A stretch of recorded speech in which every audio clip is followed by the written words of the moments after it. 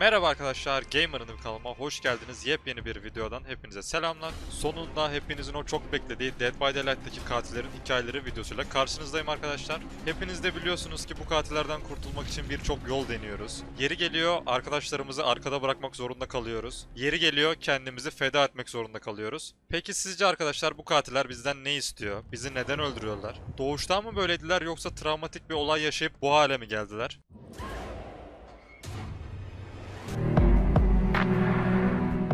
Evan Macmillan babasını kendisine idolleştirmişti. Sadece büyük bir servetin varisi olması değil, aynı zamanda varlıklarını yönetmesinden dolayı kendisine babasını örnek alıyordu. Babasının sağlam ellerine yetişen Evan, iş gücünü sıkı bir yönetimle ele almıştı. Üretim her zaman yüksekti ve Macmillan'ların varlığı baba oğlun altında zenginleşiyordu. Archie Macmillan'ın yani Trapper'ın babasının sağlığı bozuldukça Evan onu servetten pay isteyen bir topluluktan korudu. Evan babasının her isteğini gerçekleştirir ve o ne isterse yapardı. Kısaca babasını çok severdi. Archie Millen sonunda çıldırdığında Evan, modern tarihin bilinen en büyük toplu katil haline gelecek iş bitiricisi oldu. Evan'ın yüzden fazla adamı patlayıcılara infilak ettirip kaderlerini mühürlemek için o karanlık tünellere götürdüğünü asla kanıtlayamadılar. Macmillan'ların varlığının hikayesi, servet ve kontrolü kaybedilen güçle alakalıydı. Baba ve oğlun ellerine düşen kurban sayısı bilinmemekte. Evan Macmillan ne olduğuna dair hiçbir kayıt bulunmamakta. Babası ise tamamen çözülememiş bir bulmaca olarak kendi ambarında ölü ve terk edilmiş bir şekilde bulundu.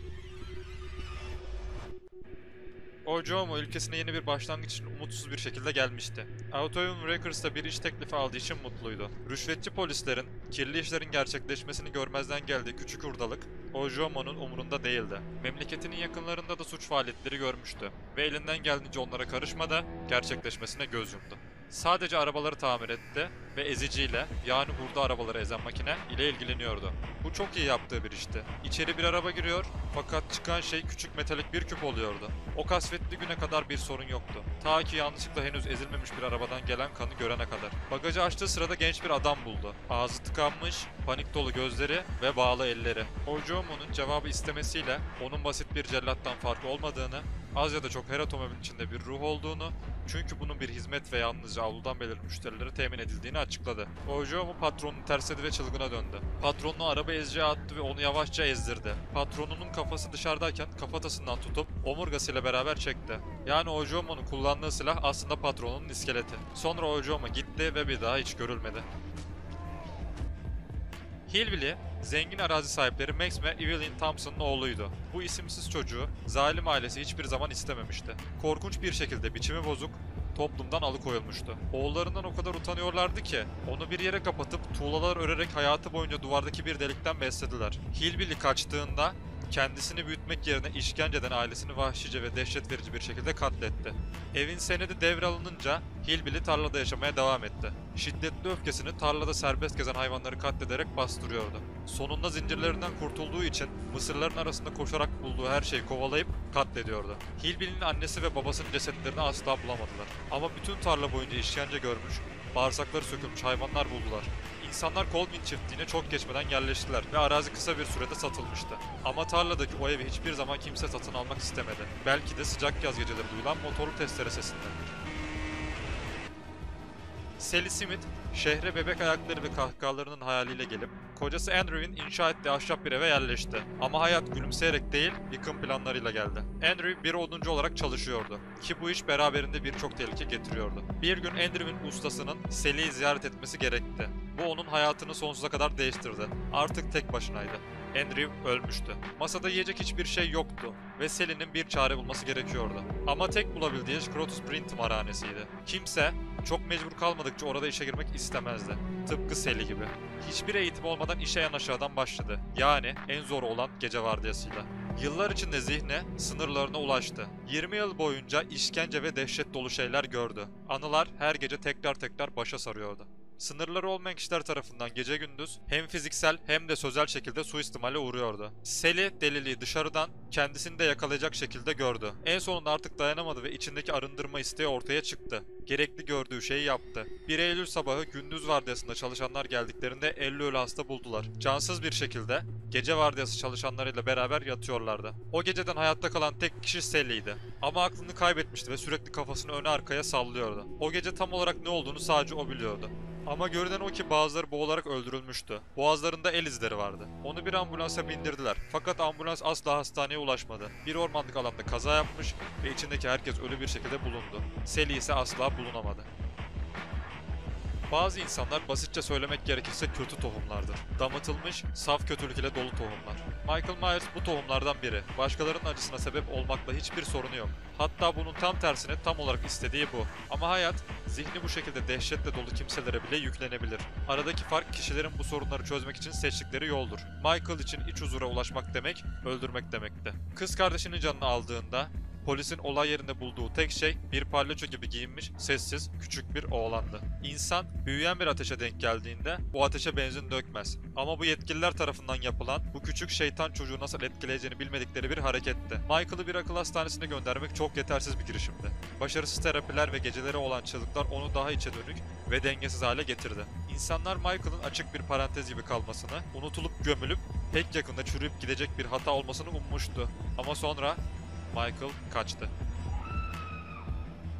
Liza, sessiz ve medeniyetin geri kalanından izole bir köyde büyüdü. Bu küçük köyün halkı kibardı ve yaşlılar eski gelenekleri hayatta tutuyor ve nadir de olsa çıkan anlaşmazlıklara ara buluculuk ediyordu. Liza, ona öğretilen güvenlik ve iyi şans getiren çarmları çizmekle çok ilgileniyordu. Bir gece ormanlık alanda evine yürürken korkunç bir fırtına hiçbir uyarı göstermeden patladı.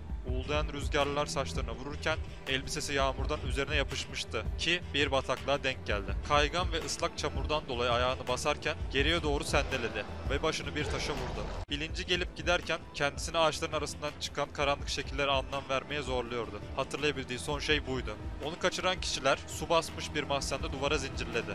Bir gün sonra geri dönüp mahkumların vücutlarından paslanmış bıçaklarıyla kemiğe dayanacak kadar parçalar koparıp tüketiyorlardı. Yamyamların gözünü kestirdiği kişiler uzun süre hayatta kalmadı. Ama bir şekilde Liza kaldı. Açlık, enfeksiyon kapmak, haftalarca süren işkence tarafından sakatlanmak.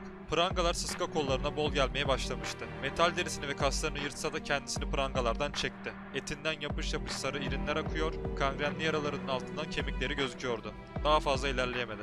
Sayıklayarak evini ve yaşlıları düşündü. Can verirkenki nefesleriyle yere, parmaklarından geri kalanlarla sembolleri kazıdı. Sanki buna bir cevap olarak içinde karanlık bir açlık baş gösterdi. Kanı arzuluyordu ve intikamı seçti. Köyün arama grubu en sonunda bataklıktaki eski bir kulübeyi buldu. Eski sahipleri burada acımasızca parçalanmış ve teşhis edilemeyen bir hayvan tarafından yenmişti. Killerde çürüyen cesetler ve parçalanmış etleri arasında yerde köyün yaşlıların sembolleri yere kanla karalanmıştı. Liza'nın bedeni cesetler arasında değildi ve asla bulunamadı. Köy bir daha hiçbir zaman eskisi gibi olmadı.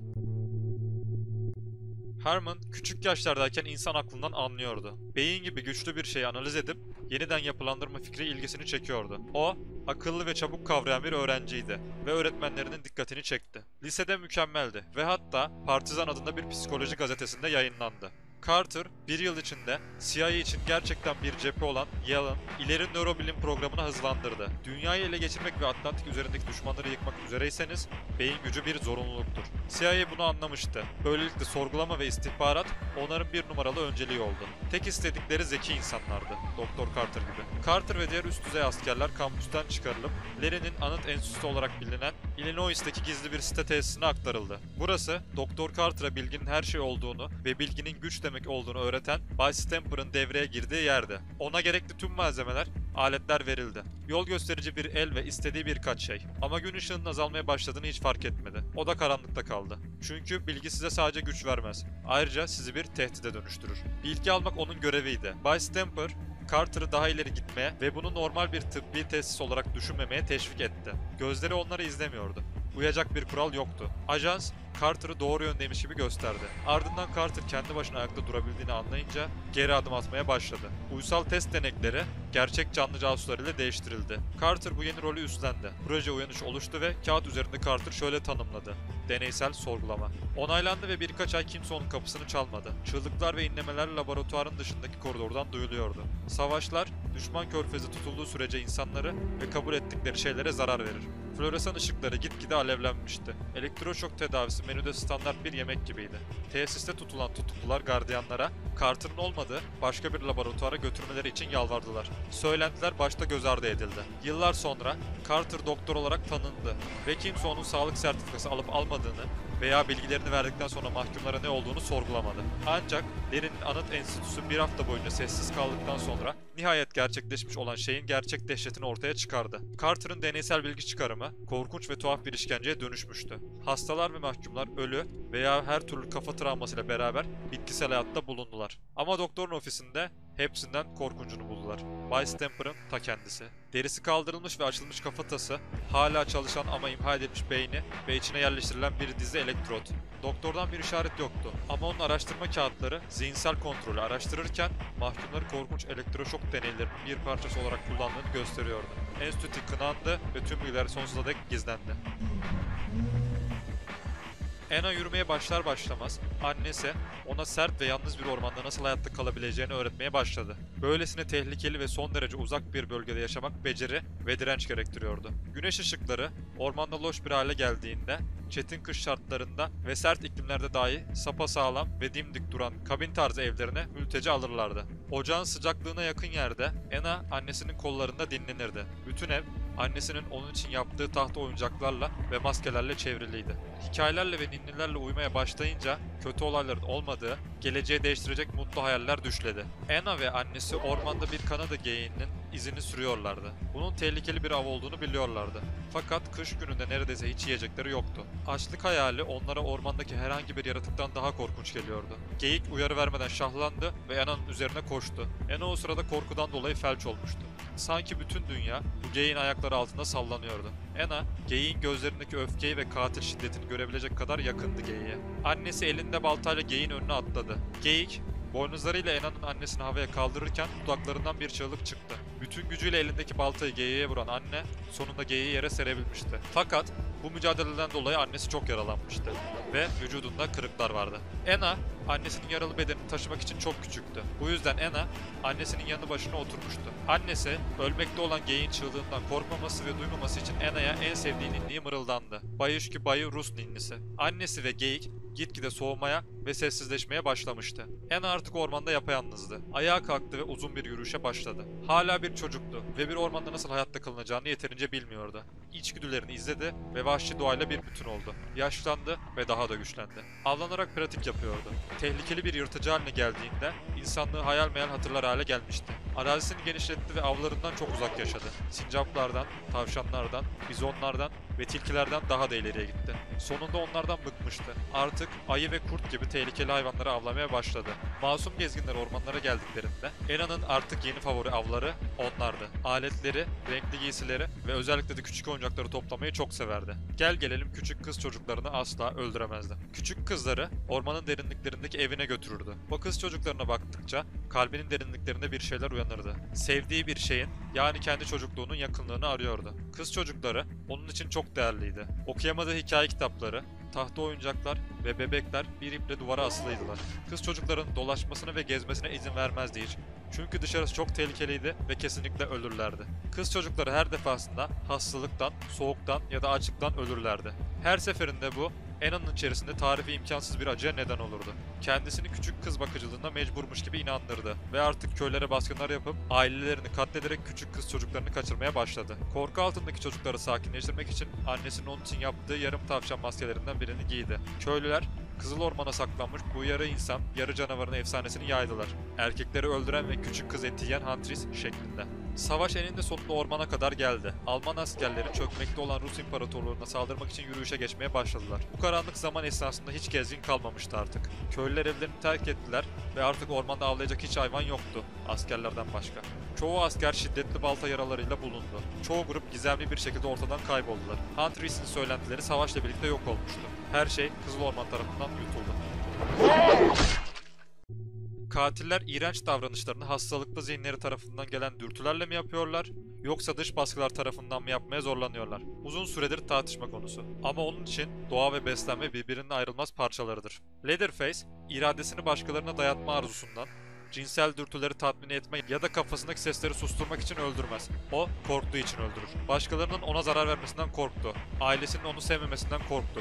İnsan eti yeme isteğinin keşfedileceğinden korktu. O söylenildiği gibi yapar. Ailesi onu severdi ve önemli olan buydu. Yabancılar bir tehdittir ve tehditlerin ele alınması gerekir. Oranın sahibiymiş gibi içeri girdiler, evin etrafına baktılar ve ailesinin sırlarını ortaya çıkarmaya çalıştılar. Ama Leatherface onlarla ilgilenir ve ailesini korur. Tıpkı ona öğretildiği gibi. O sadece koruyucu değildi. Birçok rolü vardı. Ve her rolünde kendine ait bir yüzü. Akşam yemeği servis eder, ailesiyle ilgilenir, onlar yemek yerken güzel giysiler giyerdi. Büyük babası ve büyük annesi bunların hepsiyle ilgilenirdi. Ama artık yaşlanmışlardı. Bu yüzden işleri Leatherface ve kardeşleri devralmak zorunda kaldı. Aile onun için her şeydi, güvenlik ve emniyetti. Ancak elinden gelen en iyisini yapsa da çocuklardan biri kaçtı. Onu durdurmaya çalıştı. Elinden gelen en hızlı şekilde onu kovalamaya çalıştı. Ama çocuk kamyon süren bir yabancıdan yardım aldı. Kamyoncu onun erkek kardeşini arabayla ezerek bir sıçan gibi öldürmüştü. Leatherface öfke içinde üzerine atladı. Testere ailesinin intikamını almaya hazırdı. Uzağa süren yabancıları izlerken öfke, keder ve acı ailesine ne olacağı endişesiyle birleşti. Kesinlikle polisle geri döneceklerdi ve polis kardeşlerini alacaktı. Büyük babası onlarsız ne yapardı? Leatherface'in aklı karışmıştı. Testeresini bir oraya bir buraya sallıyordu. Onu çevreleyen sayısız dış tehditle savaşmaya çalışıyordu. Sonra başka bir duygu onu kontrol altına aldı. Dışarıdakiler ona ne yaparlarsa yapsınlar, daha da kötü şeyler olduğunu fark etti. Gölgelerde yaşayan daha büyük bir şey. Daha önce hiç olmadığı kadar terör doluydu. Ama neredeyse teselli ediciydi. Ailesine karşı hissettiği korku gibi. Onları hayal kırıklığına uğratma korkusu. Tanıdık ama bilinmeyen bir yere getirildi. Ve o, içgüdüsel olarak ne yapması gerektiğini biliyordu. Başarısız olamazdı. Yabancılar gelirdi ama yeteneklerini herhangi bir tehditin üstesinden gelmek için kullanırdı. Çığlıklar olabilirdi. Dünyayı tekrar sessiz de yapabilirdi. Kalan tek ses testerenin kutsal ultusu olana kadar. O, yaşadığı zaman bile onu gerçekten tanıyanlar için kabusun yaratığıydı. Sıcaklık ve samimiyetin maskesi ardına saklanmak. Freddy'nin gerçek huyu sadece kurbanları tarafından biliniyordu. Bu kurbanlar en son duyulduğunda Springwood Anaokulu öğrencilerinin ebeveynleri Freddy'yi takip etti ve kanunu kendi ellerine aldılar. O ateşin o gece onları bir canavardan kurtardığını düşündüler. Ancak Freddy gibi güçlü bir kötülük hayatta kalmanın bir yolunu bulabilirdi. Yıllar geçti, korku gömülüydü. Kurbanlar merhametli onu unuttu. Sonra bir şekilde Freddy geri döndü. Ve bir kez daha kabus oldu. Freddy, kendisine haksızlık ettiğini düşündüğü kişilere olan öfkesine odaklandı ve bunu tek gerçek takıntısı olan Nancy Hillbrook'lu üzerinden inşa etti. Ama Nancy'nin gücünü ve becerikliliğini hafife aldı. Arkadaşı Quentin Smith ile birlikte Freddy'yi zayıflatmayı başardı. Onu sakatlayıp bir kez daha ölüme terk ederek. Freddy'yi zayıflatmayı başardı. Onu sakatlayıp bir kez daha ölüme terk ederek. Ölüm, Freddy ile ilk karşılaştığı zaman onu istemedi. Onu neden şimdi alacağını düşündüler. O bir kez daha ortaya çıktı. İntikam isteğiyle deli olmuşçasına. Sonra hedefini onun bir numarası Nancy ile yolunu tıkayan çocuğa çevirdi. Yani Quentin Smith. Freddy, Quentin'in rüya alemini işgal etti. Onun gücü ve savunması en düşük seviyesine gelene kadar onu geceden geceye korkutuyordu. Zamanı geldiğinde Quentin'i Batham Anaokulu'nun karanlık yansımasına geri dönmeye zorladı. Son intikamını alacaktı. Freddy, Quentin'i okul koridorları boyunca takip etti. Avın her anını tatmak zamanını aldı. En çok zevk aldığı şey buydu. Havadaki korkudan dökülen terlerinin kokusu. Onlar onun oyuncağıydı. Uzun bir koridorun sonunda bir çocuk vardı. Artık koşmak için çok korkmuş ve çok yorulmuş. Belki de kaderine boyun eğmiş. Freddy yanaştı, kollarını genişçe açtı. Pençeleri duvarı çiziyordu. Tırnaklarının hafifçe dokunması bir boru boyunca takip etti. Metalden çıkan çığlık benzeri kulak tırmalayan ses Quentin'in endişesini arttırıyordu. Duştan akarcasına kıvılcımlar yere yağdı ve kiremitli zemini kaplayan sıvının içine bir mavi alev serpildi ve bir anda tüm oda alev aldı. Quentin oradan Freddy kızgın alevler içinde yanarken kaçtı. Odalar ve duvarlar Freddy'nin bodrum katı seviyesine kadar bulanıklaştı. Oradan kaçış yoktu. Freddy yavaşça Quentin'in üzerine kapandı. Artık korkusu o kadar güçlüydü ki Freddy onu neredeyse tadabiliyordu. Freddy pençelerini geri çekti. Sonra Freddy onda başka bir varlık hissetti. Eski bir şey, güçlü ve karanlık. Bir pis hava onu sardı ve tek his uzaktaki esneme ve gıcırdayan ahşap kirişler gibi bir sesti. Sonra Freddy okula geri döndü. Ama onun okulu değildi. Aynı görünüyordu ama farklı hissettiriyordu. Güçleri bazı yönlerden öfkelendi ve başkalarına odaklandı. Quentin şimdilik gitmişti ama diğer kurban koridorları yürüdü. Bazıları önemsiz olur, diğerleri onun yeni favorileri olur. Hepsi pençelerinden önce düşerdi.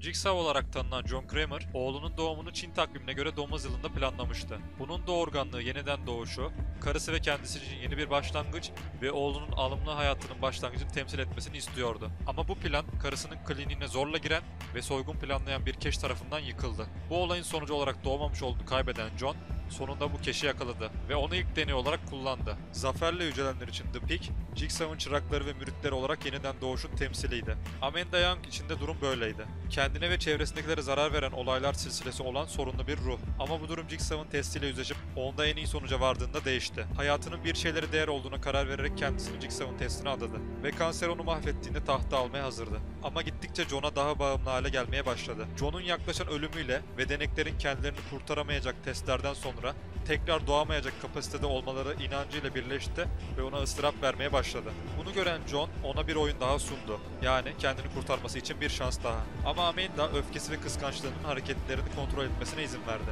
Testte başarılı olamadı ve sonucu olarak bir kurşun yedi.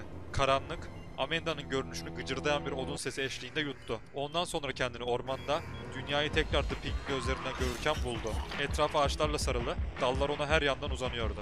Bir panik dalgasıyla sarsıldı ve maskeden yansıyan nefesini duydu. Lanetlenip günlerini burada bu görüntüyle geçirmekle mi cezalanmıştı? Ya da belki de bu da başka bir testti. Belki de tam olarak başarısız olmamıştı. John her zaman herkesten bir adım önde düşünür. Her ihtimali planlardı ve kesinlikle ondan vazgeçmezdi. Değil mi? Jigsaw belki de gitmiş olabilirdi. Eninde sonunda verdiği kararlarda haklı olduğunu gördü. Oyun zamanı bitmişti. Artık hiçbirinin telafi için bir şansı yoktu. Onlar ettiler ve etlerin kaderinde ölmek vardı. Kenneth Chase 1932'de annesinin hayatta kalamadığı zor bir doğumla dünyaya geldi. Bu olay babasıyla arasını asla kapanmayacak şekilde açtı. Çocukla beraber babasının kini ve içki bağımlılığı da büyüdü. Kenneth okulda olduğu sıralar neredeyse tamamen ayrı hayatlar yaşamaya başlamışlardı. Akademik olarak sıradandı.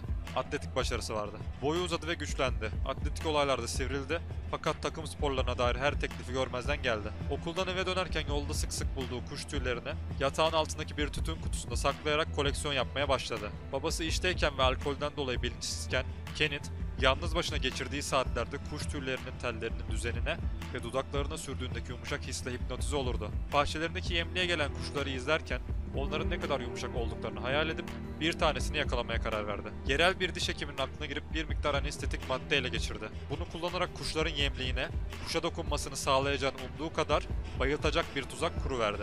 Birkaç başarısız girişimden sonra bir nar bülbülünü yakalamayı başardı. Kuş elinde yatarken kendi merhametine kalmış bir canın bilinciyle heyecanlandı. Kuş uyuşturucudan ayıldıktan sonra onu salmayı planlıyordu. Bunun yerine bilinçle yerine gelen gözleriyle debelenmeye başlayan kuşa rağmen Elleri hala onu sıkı bir şekilde tutuyordu. Parmakları yavaşça boynun etrafına dolandı ve göğsündeki tüyler hareket etmeyene kadar sıktı. Kuşun leşinden kurtuldu ama bir tüyünü sakladı. Diğer tüylerin sahte olduğunu düşünerek attı ve yepyeni bir koleksiyona başladı. 1940'ların sonuna doğru Kenneth okulu bıraktı ve yerel bir lokantada kome olarak çalışmaya başladı. Aynı zamanda avlarını sincaplar, rakunlar ve köpekler olarak büyütmüştü ve bu sırada anestetik dozunu her birine göre ayarlamayı öğrenmişti. 1954'ün başında genç bir adam kayboldu ve ararken kasabanın altı üstüne getirildi. Birkaç ay sonra Kenneth'in babası döşeme boşluğunda iş yaparken bir tütün kutusu buldu. Zorlayarak açtı ve dehşetle kutuda tüyler, hayvan patileri ve insan parmakları olduğunu gördü. İşten dönerken Kenneth, babasının döşemenin altından tütün kutusunu elinde çıkardığını gördü. Topuklarının üzerinde döndü ve bir daha eve dönmedi. Birkaç hafta zorlu hayat mücadelesinden sonra bir sirkle karşılaştı ve muhteşem gücü sebebiyle halatlarla çalışmak için işe alındı. Kendine yeni bir isim taktı, Jeffrey Hawk. Aniden birbirine bağlı bir toplulukta sarılan Jeffrey, sosyalleşmeyi öğrenmek zorunda kaldı. Kılık değiştirmişçesine yeni bir kişiliğe büründü ve kısa sürede alımlı ve yardımsever birisi olarak tanındı ve yeni ailesinde hoş karşılandı. Sonraki 10 yılını sirkte geçirerek Amerika'yı enine boyuna dolandı. Ama gezgin hayatın kötü etkileri olarak yeni kötü alışkanlıklar edindi. Alkol, abur cubur, uyuşturucu gibi şeyleri aşırıya kaçırdı. Bir süre bu kötü alışkanlıklar yeterliydi. Ama bir süre sonra eski dürtüleri geri döndü ve göçebe varlığı cinayetlere devam etmesi için bir örtbas haline geldi. Sanatçıların kıyafetlerini ve makyajlarını çalıp, kurbanlarını onları bayıltıp karavanına getirip, ayrılınca kendilerine bağlanmış ve onun merhametine kalmış bir şekilde bulmadan önce yaklaşabileceği kılıklara bürünüyordu. Sonunda eğlenebilecekti. Manen ve madden onlara işkence ederek. Çığlıklarıyla gecenin içinde kaybolmadan önce kendisini tatmin ediyordu. En sonunda takatleri artık tükendiğinde dikkatle onların parmaklarını inceleyip Diliyle tatlarına bakıp en güzelini arıyordu. En güzelini bulduktan sonra da bu parmağı kesip gururla koleksiyonuna ekliyor, kalan cesettense gereksiz bir ziyan olarak kurtuluyordu. Kadın, erkek, genç, yaşlı umurunda değildi. Güzel bir koleksiyonun özü, uyandırdıkları anılar ve hikayelerinin çeşitliliğiydi. Gittikçe kostümü daha az çıkarır oldu ve bununla beraber eski kişiliği de yavaş yavaş döküldü. Palyaçoyu kendi benliği olarak tamamen benimsedi. Zamanla rahatladı ve özensizleşti. İçkiden sızdığı bir sıra bir kurban bağlarını çözmüştü. Yardım için bağırarak kaçtı ve tüm sirki onun başına uyandırdı. Atını kamçıladı ve karavanı gecenin içinde kayboldu. O zamandan karnavallarda veya sirklerde her zaman ortaya çıkabilecek bir parazit olarak ülkeyi gezdi. Ama asla bir afişte gözükmedi. Yeterince cesur ve sersem olanları kendisine çekti. Onlara tuzak kurdu ve kayboldukları ortaya çıkmadan önce sırra kadem bastı. Sonunda artık Amerika'nın sıradan yollarını bıraktı ve gizemli bir örtüden geçip yeni bir diyara girdi. Fanilik ve geçiciliğin mekanı. Seçtiği hayata tamamen uyan bir yer. Hayatında hiç olmadığı kadar evinde hissetti ve ilk ziyaretçilerini beklemek için kampını kurdu. Eğer hikayeleri dikkatli bir şekilde dinlediyseniz katillerin Mori'lerinin sebeplerini de büyük ihtimal anlamışsınızdır arkadaşlar. Açıkçası benim çok hoşuma gitti hikayelerin Mori ile özdeşleşmesi. İzlediğiniz için hepinize çok teşekkür ederim arkadaşlar. Umarım video hoşunuza gitmiştir. Bir sonraki videomuzda görüşmek üzere. İyi günler, eğlenceler.